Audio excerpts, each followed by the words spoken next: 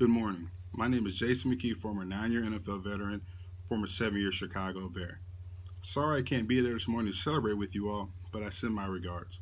But I'm proud to congratulate Combine Insurance on being named the number one military-friendly employer by GI Jobs magazine for the second straight year. And I'm very impressed to see that Combine Insurance have, has employed over 2,500 former servicemen and women over the past five years. Very impressive. A little bit of background about myself. Growing up a military brat, my father served in the United States Air Force for 20 plus years.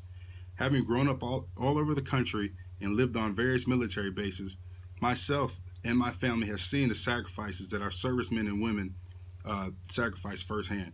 So I'm very proud to announce our partnership with Combine Insurance, along with the Jason McKie Foundation and all of our board members on what the future in 2016 can hold.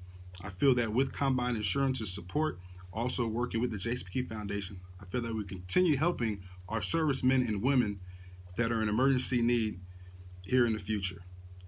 So once again, congratulations, Combine Insurance. We're very thrilled to be working with you all. And once again, congratulations on receiving this prestigious award for the second straight year. And I look forward to a bright 2016 in which the Jason McKie Foundation, partnered up with Combine Insurance, can continue helping our military servicemen and women who deserve our support, but also continue raising awareness and helping these military families that are in emergency need.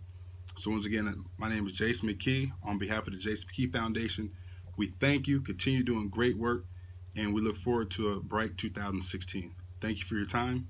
Have a good day.